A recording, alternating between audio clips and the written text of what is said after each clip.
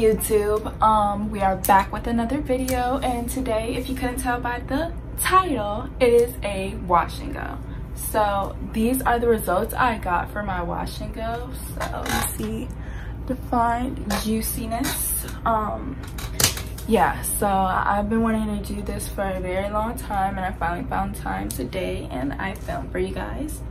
So if you like this look and you want to know how I got it, just keep watching. First, what I'm gonna go in with is the Shea Moisture Raw Shea Butter Moisture Retention Shampoo with sea kelp and argan oil.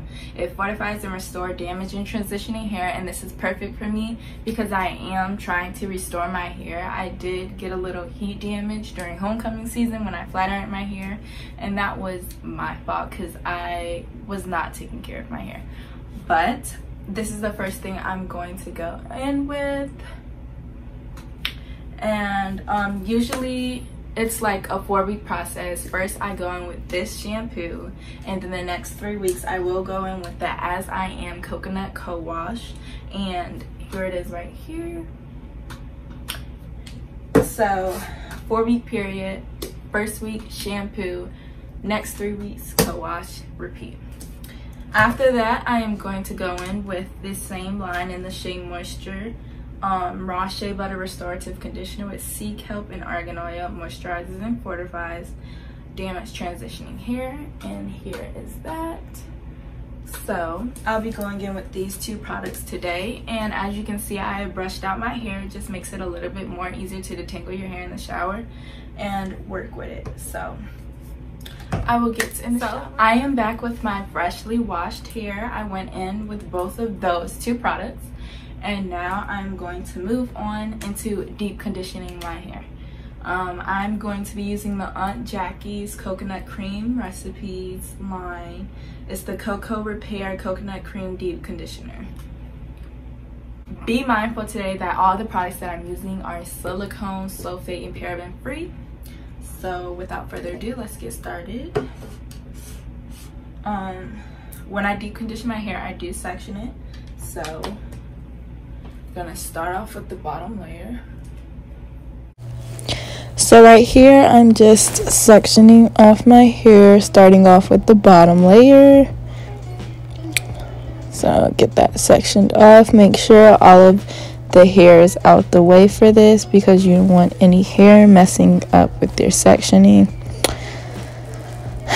So I do split both sides in half. It just makes it easier for me to apply the product. Honestly, it's no reason I do this. But I split it into halves and I start off with one side and I like my hair to be wet. So I do spray more water on it if it's not wet and it's dried up. So now I'm applying the product in my hair and I apply lots of product. When I do apply it in my hair so you see me I will keep putting more until my liking. And you're just gonna rake it through your hair as you see that I'm doing. Just keep on raking it. And you might need to grab more if you need to put more product and you just keep on raking until it is distributed on all strands of your hair so it's really just a touch and go thing. You just keep going till you like it and then eventually you will separate it into two the sections that you are working with and you will twist it like I am doing in the video.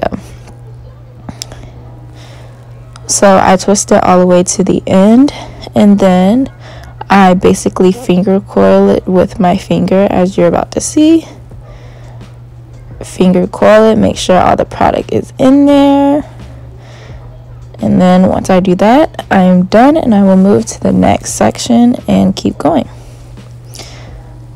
So I'm basically just doing the same thing to this side. I'm applying the water because it's a little dry. And I'm putting the product on my hair raking it like I did the other side. And once I get it to my liking, eventually I will twist it like I did the other side and then finger coil it. And that's pretty much what you're going to do throughout your whole hair.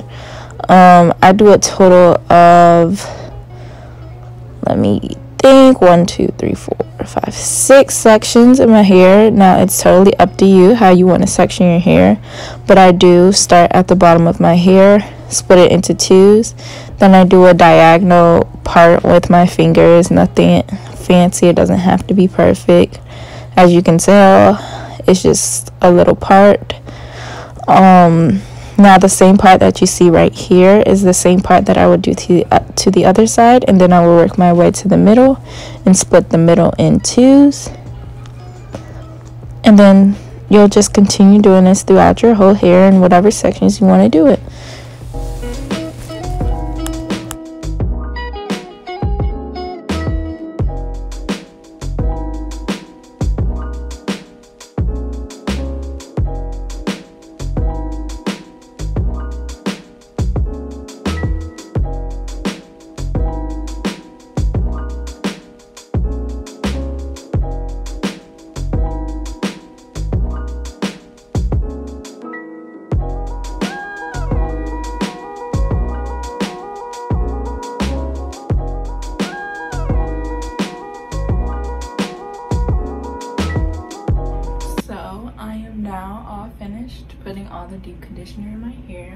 Sure you do this right after you wash your hair while it's wet and everything. You see I was putting extra water in my hair just to make sure it's wet. I like to put product in when my hair is wet.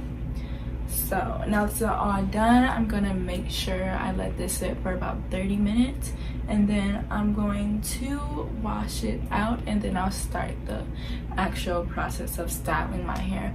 Make sure while you're washing your hair out you are using cold water or lukewarm water, not hot water. You do not want to use hot water while you are doing your wash and go. So just make sure you're using cold water and you should be fine. So I'm gonna let this sit for about 30 minutes and I'll be Everything is currently washed out now and um, now i'm about to get into styling. So originally i bought these two products to style with.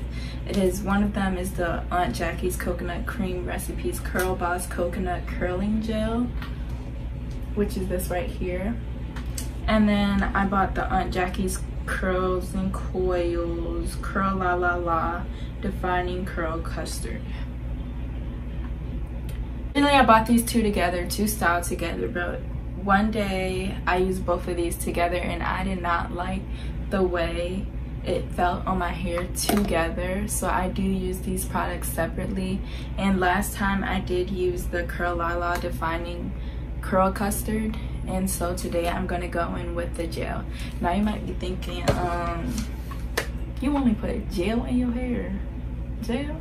But y'all this Curl Boss Coconut Curling Gel is the balm on my hair. So this is what i use. It might not work for everybody but i will only be using this product only today when styling my hair. Um i am going to use the Denman brush to help me style my hair as well and you'll see how i use it. A lot of people use it differently but you'll see how just i use it. And i only have this towel in my back because i didn't want my bed wet. But without further ado let's get started so just like we did when we deep conditioned, you are going to section your hair.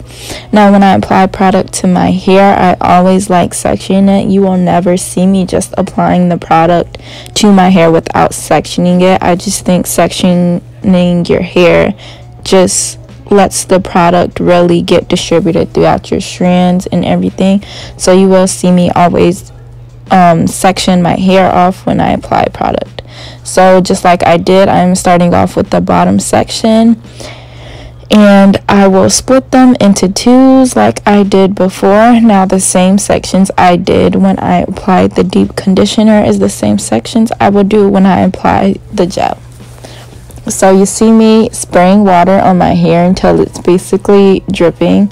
Um, I like I said before, I like my hair basically dripping wet when I apply product. So once I get it wet to my liking, I will take the product and start raking it through my hair like I did before. I always break the product through my hair. So I will break it and put more product in it into my liking. And eventually, when I get it to my liking, I'll eventually go with the Denman brush. And the purpose of the Denman brush when I use it is to basically distribute the product throughout my hair. Um, now I am transitioning and I would like to use the brush to basically find my curls and I would like to just brush my hair and then you will see me um, basically jiggle it soon. But I would love to just take the brush brush it through a section, jiggle it, and leave it be. But since I am transitioning, you see even some strands won't even curl up. And it's basically my bottom strands you might see, but some strands won't even curl up. So I do, I take the brush and I brush it through my hair just to distribute the product. So like you're about to see, I brush it a couple times until I think it's distributed good and then you'll see me take the brush and curve it a little bit. Curving the brush does give like it curls it more kind of if it makes sense. But you see me I'll, jig- I'll jiggle it and it kind of defer- defines my curl a little you know? It clumps it together and it curls my hair. That's what you want. That's what healthy hair is supposed to look like. It curls up when you do that as you see some won't even curl up and I probably have to cut a little bit more of my hair because I have did kind of a big chop. But I will finger coil each little curl. Just for now this is I've transitioned from damaged hair before and honestly finger coiling does wonders. So after I finger coil I will scrunch up my curls just um, I guess make it a little bit more curlier, but I do like brushing my hair in smaller sections, so you will see me divide the A section into another section just so I make sure everything is distributed nicely. So you see I am taking the brush exactly how I did the last section. I'll jiggle it, find my curls, and basically take each curl and finger coil it throughout the video you might see me get a little lazy and do bigger sections when I'm finger coiling but it's best to take your time when you're doing these wash and goes because the more time you spend on it honestly the better results you're going to get. So when you're doing a wash and go at least if you're going to copy my wash and go make sure you have time when you're doing it. I know it's supposed to be a fast wash and then go but honestly the more time you take on your wash and go the better um, while I was in school, I really tried to rush my wash and goes just for the simple fact I was just always in a rush in school. But those wash and goes were not it. I promise you, they were not it. So now I'm taking care. I did a chop and everything. So yeah, you'll just see me finger coil each curl and scrunch, scrunch, scrunch. I love scrunching my curls. I'm not afraid of shrinkage. I actually like it. So you'll see me do that a lot. Now, basically, I'm going to do the same exact thing in each section. So you'll see me apply the water, apply the product, brush it through, finger coil, scrunch, and you'll see me. I'm basically doing that throughout my whole hair. So, a little background before, um, maybe like a month before I recorded this wash and go, my hair was badly, badly damaged. So, um, basically, the hair that I did cut off was they weren't curling up like it was no hope for those. So, that's why I kind of did a little bit of a semi big chop, but it's not really a big chop. Um, so yeah, my hair is doing a lot better now. Um, it's doing a lot, lot better. So that's I'm excited for that. So it's just gonna take time to transition. Um, I actually have thought about um my sister. Her hair is a little damaged. That's a little damaged from color damage, heat damage, you name it. Not trying to put her out there, but it is. And honestly, if you guys want me to record transitioning her hair, um, comment below. I can show you guys how I cut my hair with her hair. I can cut her hair, um, buy the products that'll fit her hair, um, do all just what I did a month ago to my hair to basically restore the process. And I'll basically take you guys on the journey of me and her transitioning to very healthy curls. So if you guys want to see that, just let me know below. As you see, I'm doing the same exact thing to this side. Um, it gets easier, honestly. You can go faster and you just scrunch, scrunch, scrunch. So the last part I do is the front of my hair. And I basically do it down in this direction. So you're going to see me wet my hair like I do all the time. And then I brush it. Um, then I'm going to take the product and basically distribute it throughout my hair like I do every section, nothing different. I just like to do basically the crown part of my head going face down and together. I actually, this is only the actual section I don't split up because I don't want to create a part for myself. So this is really why I do it in this direction and in one big section. So you'll see me apply product, brush it through, apply product, brush it through. And um I basically just it's basically a really touch and go thing. Um I'll scrunch, brush, just go back and forth with it till I get it to my liking. I know how I want it. I know how my curls are supposed to look. So you'll just see me going back and forth doing that.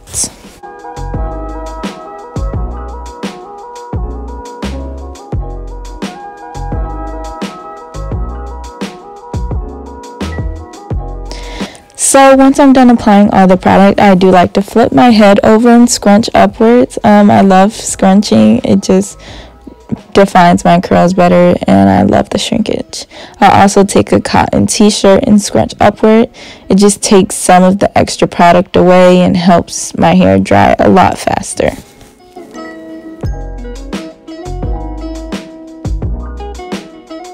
Now I'm going to let my hair air least maybe 30 minutes. Then I'll go in with the diffuser.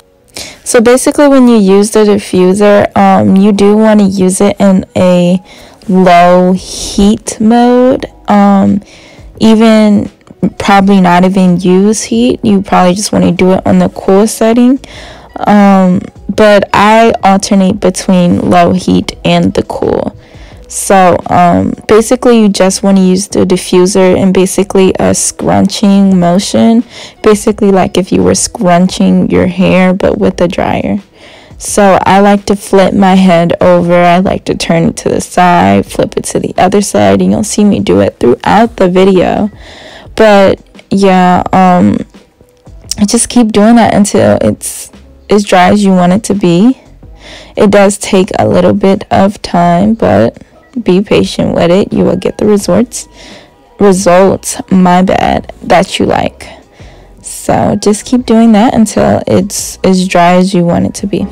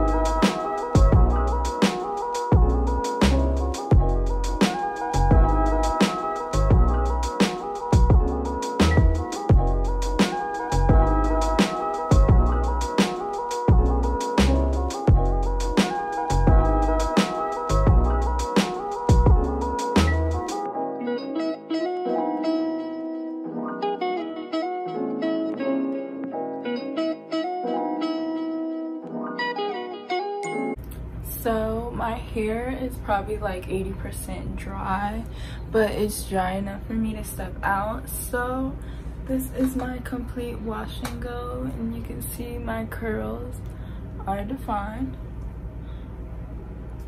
So my hair is getting to my liking. So I'm happy with the results I got today. They're actually better than the custard I used last time. But this is with the gel and yeah. I see you. I see you. Really this feeling.